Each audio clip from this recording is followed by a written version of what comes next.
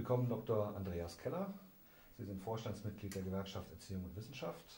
Wir haben es eben im Vorgespräch kurz angesprochen. Sie sind von Hause aus Politikwissenschaftler, kein Lehrer bei einer GEW.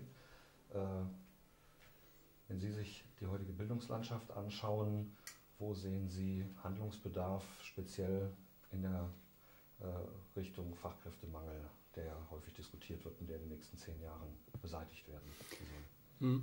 Ja, den Handlungsbedarf gibt es eigentlich überall. Wir als GW vertreten ja in der Tat auch alle Bildungsbereiche, von der frühkindlichen Bildung über Schule, berufliche Bildung, Hochschule bis zur Weiterbildung.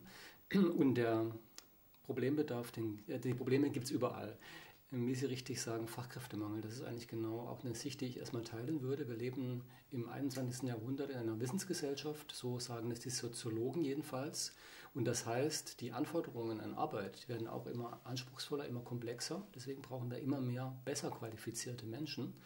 Und unser Bildungssystem ist leider nicht so angelegt, dass wir allen, die eine gute Ausbildung anstreben, auf den roten Teppich ausrollen. Das fängt eigentlich schon an im Schulsystem, dass wir die Kinder im Alter von zehn Jahren auf verschiedene Schulen ähm, verteilen und dann eine spätere Korrektur nicht mehr so ohne weiteres möglich ist, wenn jemand nicht aufs Gymnasium geht.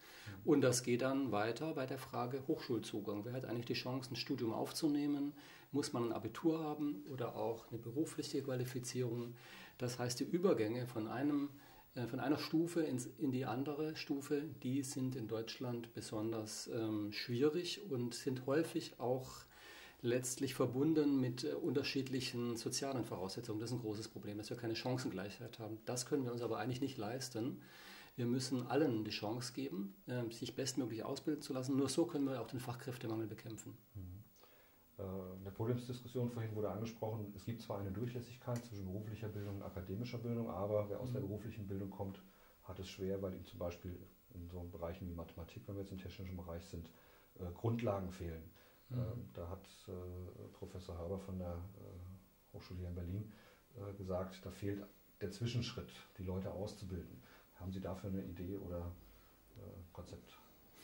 Naja, mittlerweile sind wir ja eigentlich in der Diskussion schon einen Schritt weiter gekommen, weil die Kultusministerkonferenz hat ja gesagt, die berufliche Bildung soll grundsätzlich den Weg zur Hochschule öffnen, für Meisterinnen und Meister grundsätzlich und für Absolventinnen und Absolventen einer beruflichen Bildung die keinen Meister haben, wenn sie eine bestimmte Erfahrung vorzuweisen haben, zumindest fachgebunden. Und ich glaube, das sollte man nicht hinter zurückgehen. Das sind die Standards, die Länder müssen das umsetzen.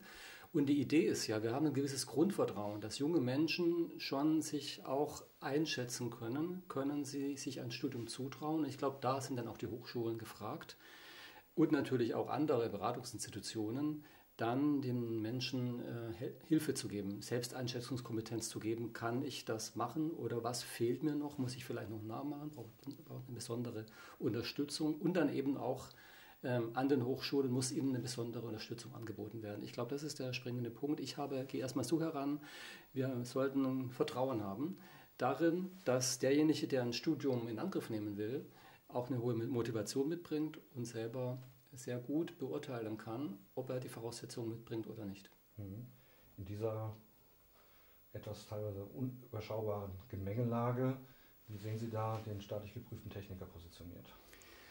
Der staatlich geprüfte Techniker oder die Technikerin, es gibt ja, glaube ich, immer, auch immer mehr Frauen, die diesen, ja. diese Ausbildung machen, die äh, lappt ja gewissermaßen schon in den tertiären Bereich hinein. Das heißt, wenn wir über den Technikerberuf sprechen, muss man auch sagen, das ist was anderes als eine duale Ausbildung oder eine, ähm, eine ähm, Berufsfachschulausbildung, die man eher in den sekundären Bereich packt, sondern der ähm, Techniker, der gehört zum tertiären Bereich, ist deswegen ja auch im deutschen Qualifikationsrahmen auf Stufe 6 eingestuft worden, wo der tertiäre Bereich anfängt, also auch ein Hochschulstudium etwa auf Bachelorniveau schon anzusiedeln ist. Und deswegen ähm, ist ja dieses Ergebnis der Einstufung in den DQR, wo ja viele Sachverständige mitgearbeitet haben, auch erstmal Ausdruck dessen, dass wir hier auch eine äh, Kompetenzen vermitteln, die über die klassische berufliche Ausbildung hinausgehen, ein anderes Niveau erreicht haben. Und dem muss dann auch die Bildungspolitik auch Rechnung tragen. Mhm. Wenn Sie sich jetzt das, Bildungs-, die Bildungslage in Deutschland anschauen und Sie würden einen Wunsch frei bekommen, was Sie ohne größere Diskussionen ändern dürften, was würde das sein? Also ganz aktuell fällt mir da spontan ein das Kooperationsverbot Wir leisten uns in Deutschland den Luxus, in unserer Verfassung eine Vorschrift zu haben, die Bund und Ländern verbietet zu kooperieren. Ganz praktische Folge, der Bund darf die Länder nicht unterstützen in der Bildungsfinanzierung. Und die Länder sind aber für Bildung verantwortlich. Das ist ein ganz großes Problem. Und äh, deswegen müssen wir das Kooperationsverbot aufheben, damit auch der Bund in der Fläche und auf Dauer mehr Geld für die Bildung ausgeben kann.